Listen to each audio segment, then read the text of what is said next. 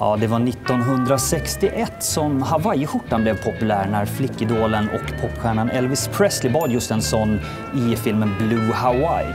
Och det här är förstås inte det enda exemplet på att kläder har blivit populära genom filmsuccéer.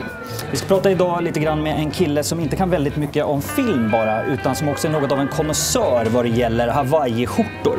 Ronny Svensson, hej! Hej, hej! Tjena! Du, eh, vad kan man säga att filmen har haft för betydelse för modet under 1900-talet? Oj.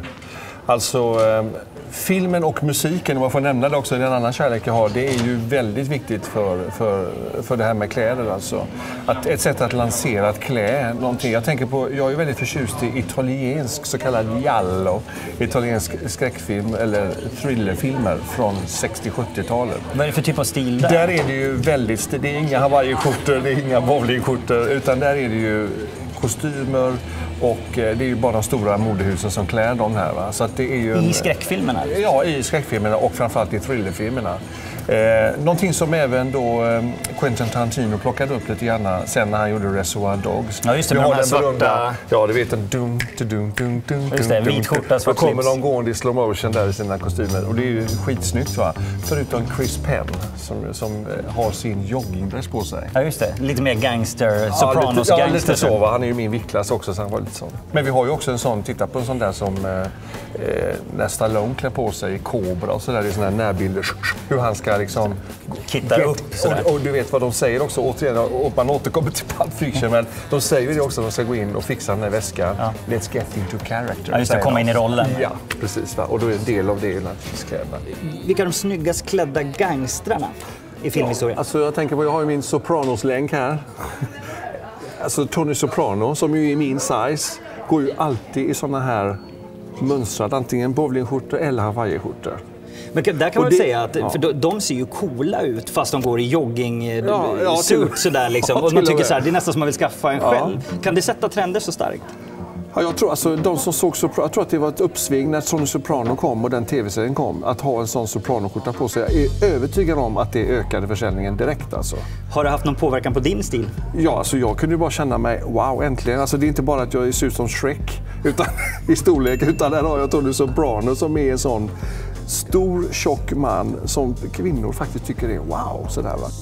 De som sett dig på TV kan väl knappast ha undgått att märka att du är väldigt förtjust i hawaiiskjortor och bowlingskjortor och sådär. Eh, du är nästan lite en kännare av, av hawaiiskjortor kan man säga. Jag har med mig ett gäng. Kan du berätta lite grann om de här? Ja, den här till exempel är ju den första jag själv köpte faktiskt. Eh, jag kommer i den fortfarande men den ska sitta lite mer loose. Jag får väl eh, träna lite mer. Men det här, det här är, är den första. Snygg. Jag tycker den är snygg just att det är den här kartan och och det är fint med, med liksom axlarna och att typ mönstret följer på sidorna så här. Va?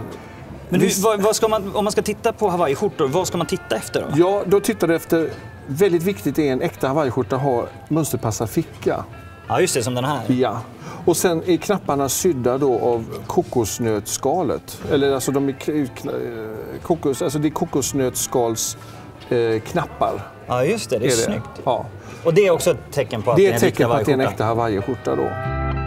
Men den här är ju snygg. Eh, det är ju lite grann som just den som Elvis hade på sig, ja. Eh, Blue Hawaii. Och det här minns jag också att det var samtal från en man som antagligen var papegojägare som frågade var har Ronny köpt sina, den här skjortan? Han ville köpa den här skjortan av mig. Va? För han hade ingen möjlighet på grund av papegojorna? Han hade ingen möjlighet att åka till Hawaii. Jag har en annan här som jag skojar lite och kallar för min seriemördarskjorta här.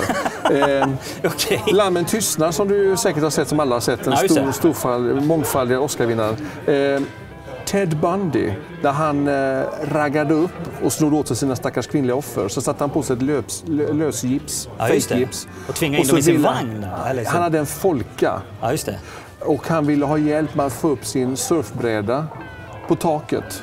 Och det har de nämligen här, va? Eh, som du ser. En folka med surfbrädor. Så att jag har varit lite bisarr i min humor. Där, kallar den för där min, kan man väl verkligen säga att filmen har styrt in på på vad du har på dig så att säga. ja. Men du har inte mördat någon i den här Nej, absolut inte. Du, jag tänkte så här, jag har med mig en, eh, min enda hawaiiskjorta faktiskt ur garderoben. Jag tänkte att du skulle få recensera den här lite grann.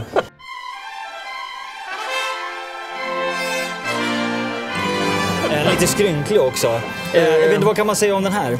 Du, den verkar ju, dels verkar den så att den är lite mera slimmad för att vara kroppsnära. Ja. Det tycker jag Det är är lite inte bra. fel. Fickan är, är ju en Inte katastrof. mönsterpassad va? heller, nej. Den är katastrof. Den är inte rakt skuren utan det här är en sån där skjorta som man har. Alltså det är ju lite som Magnum va? Du vet. Ja. Mannen som Ja, tackade nej till Indiana Jones, Tom Selleck. Den utspelar sig på Hawaii. Ja. Och han har skjortorna innanför brallorna alltså. Och det är inte bra. Det går in, och även om man är snygg och har tvättbrädesmage, det, det ska man inte ha. De ska vara utanpå. Så om du ska säga, hur många solar får den här då? Ja, den är, alltså, du, du, du ska få två solar, lätt i moln. Eh, men de, de, är, de lyser inte över Hawaii, de lyser eh, snarare över eh, Askim utanför min gamla hemstad Göteborg.